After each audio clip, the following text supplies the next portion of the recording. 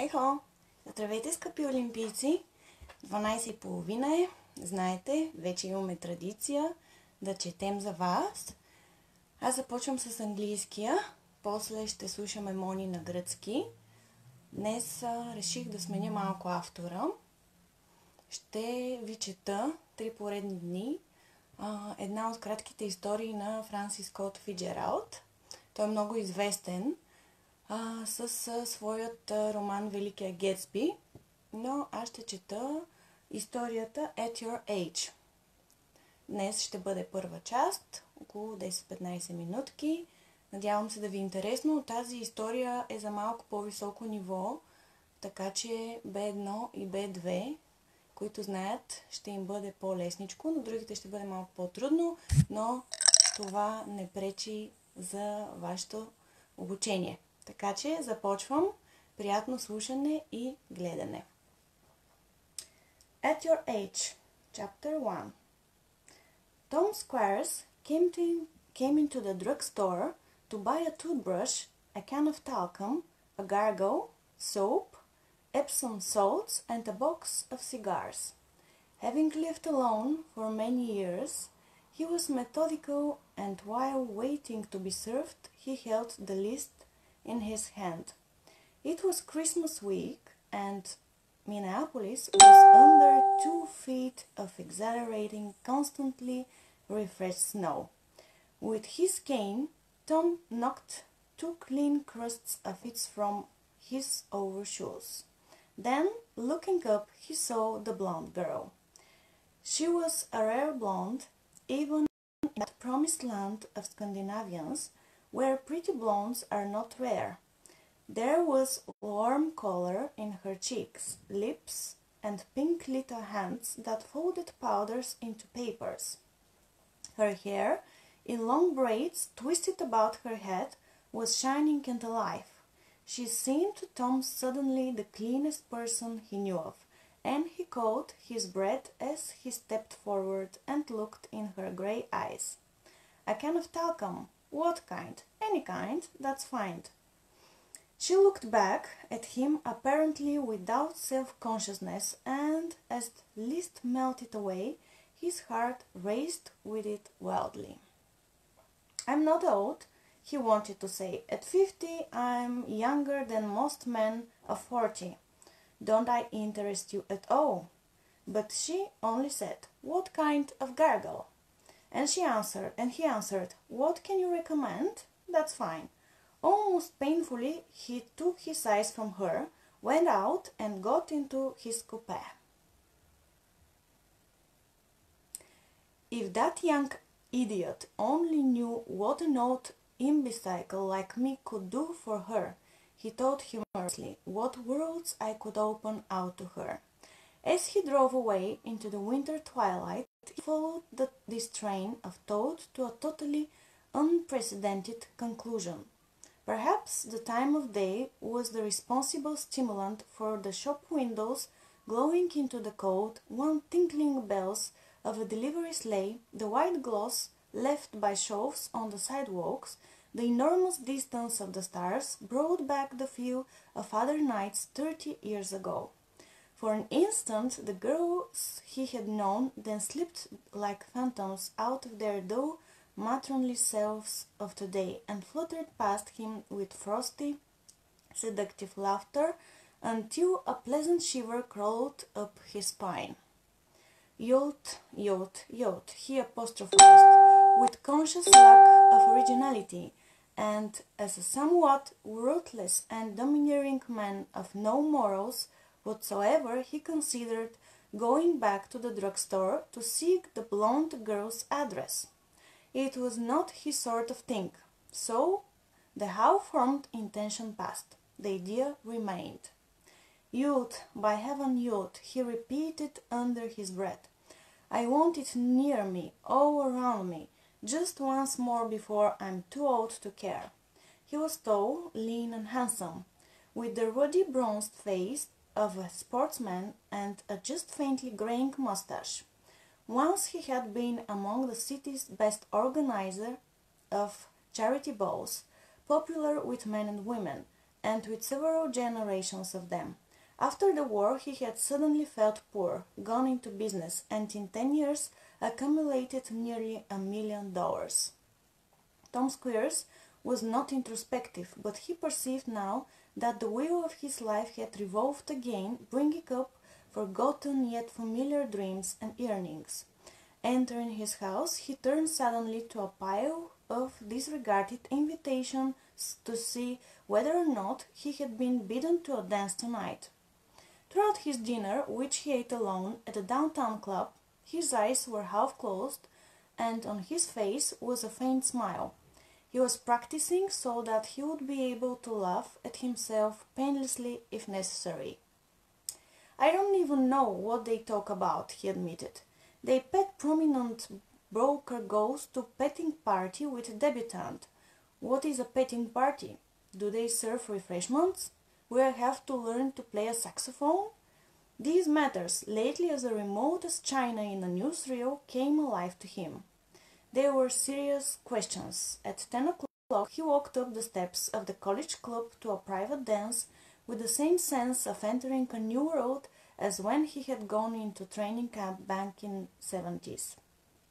He spoke to a hostess of his generation and to her daughter overwhelmingly, overwhelmingly of another and sat down in a corner to acclimate himself.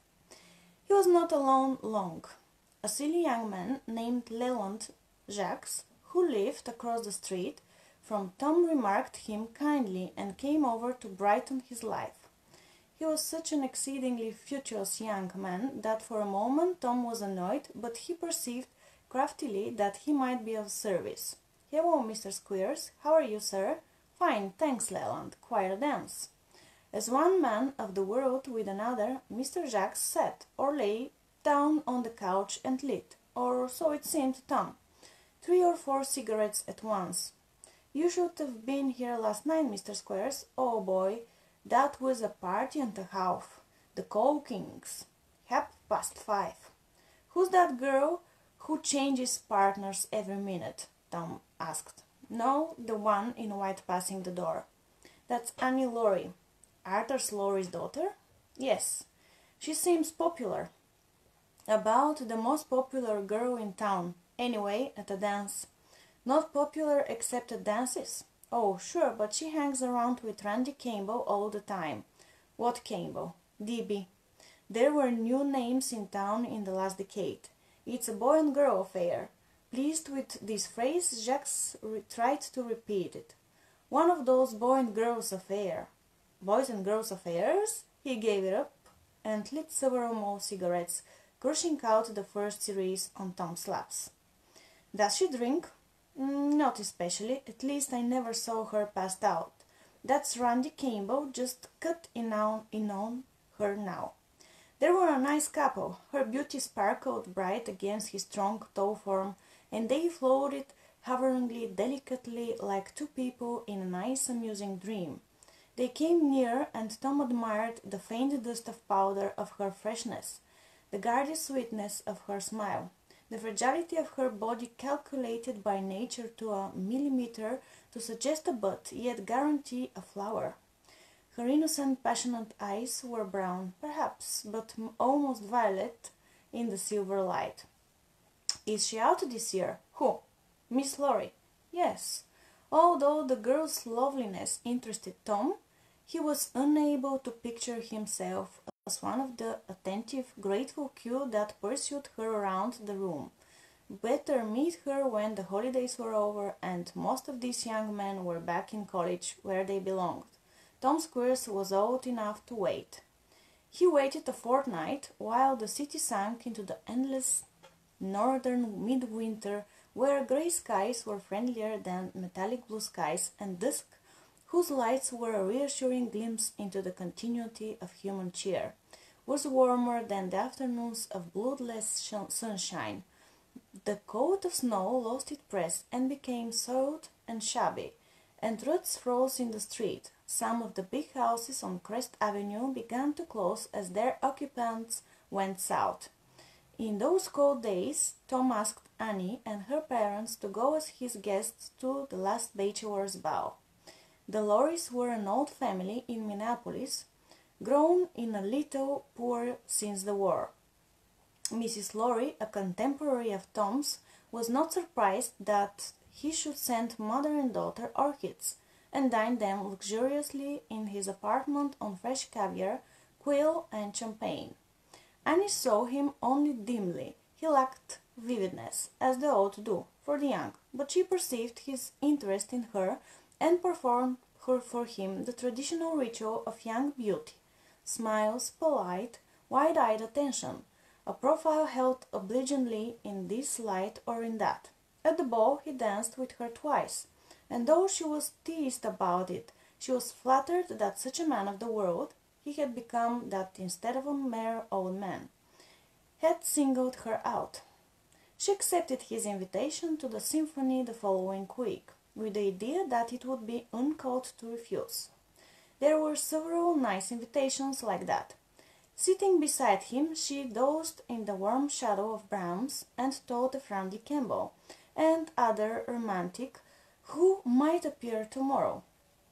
Feeling casually mellow one afternoon, she deliberately provoked Tom to kiss her on the way home, but she wanted to laugh when he took her hands and told her fervently he was falling in love. But how could you? she protested. Really, you mustn't say such crazy things. I won't go out with you any more, and then you'll be sorry. A few days later, her mother spoke to her as Tom waited outside in his car. Who's that, Annie? Mr. Squeers. Shut the door a minute. You're seeing him quite a bit. Why not? Well, dear, he's fifty years old. But, mother, there's hardly anybody else in town. But you mustn't get any silly ideas about him. Don't worry. Actually, he bores me to extinction most of the time. She came to a sudden decision. I'm not going to see him any more. I just couldn't get out of going with him this afternoon. And that night, as she stood by her door in the circle of Randy Campbell's arm, Tom and his single kiss had no existence for her. Oh, I do love you so, Randy whispered. Kiss me once more. Their cool cheeks and warm lips met in the crisp darkness, and watching the icy moon over his shoulder, Annie knew that she was his surely, and, pulling his face down, kissed him again, trembling with emotion. When will you marry me then? he whispered. When can you? We afford it. Couldn't you announce our engagement? If you knew the misery of having you out with somebody else and then making love to you. Oh, Randy, you ask so much. It's awful to say good night. Can't I come in for a minute? Yes. Sitting close together in a trance before the flickering, lessening fire, they were ob oblivious that their common fate was being coolly wiped by a man of fifty who lay in a hot bath some blocks away. And that's our first chapter. Tomorrow we proceed with the second part. Now I give the word to Moni, who will read for you in Greek. Ciao Olimpici, do skoro!